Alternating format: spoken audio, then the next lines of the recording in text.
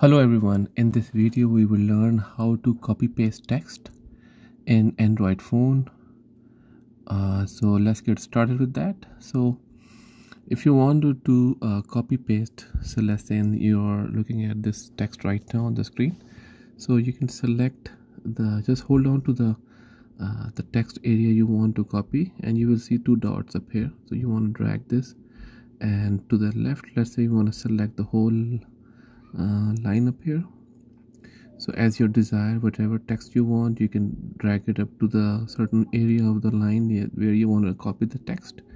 And on the top you can see cut copy paste. You can click on here and after that this is copied. And uh, wherever you want to paste this. So let's come down uh, to this document and uh, paste that. So if, if i just just hold on to this cursor where it blinks you can say paste up here so you can paste the text up here. So that's how you do copy paste. And simply if you want to select more than one line you can drag it wherever your desired uh, length of the text you want to select.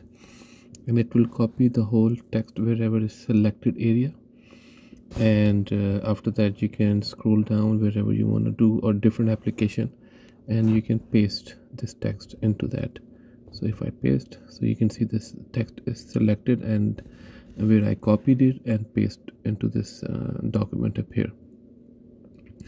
And one more trick if you want to just select uh, the whole text you can select all up here and uh, let's try this. And you can see this I can copy and paste the whole uh, document of the text.